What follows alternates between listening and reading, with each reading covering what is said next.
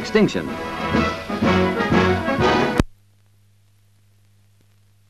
About 50 varieties of fish in these Victorian waters, and that's quite a... Later on the fishing boat Kyeema, Mr. Vacation to try their luck.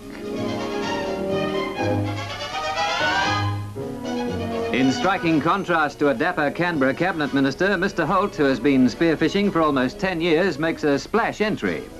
Sharks, rays and eels are not allowed in competitions, but the Treasurer can't resist a diversion with this Port Jackson shark.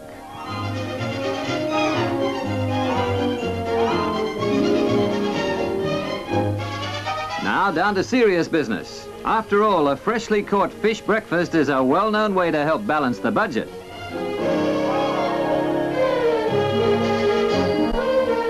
Prodding this fellow into action isn't our idea of fun, but apparently the bull ray is much more interested in getting away. There's nice magpie morwong. Major prize for the convention is a return trip for two to the Barrier Reef, but of course Mr. Holt's not competing for that. You see, if he won, some people might think it was a bit fishy.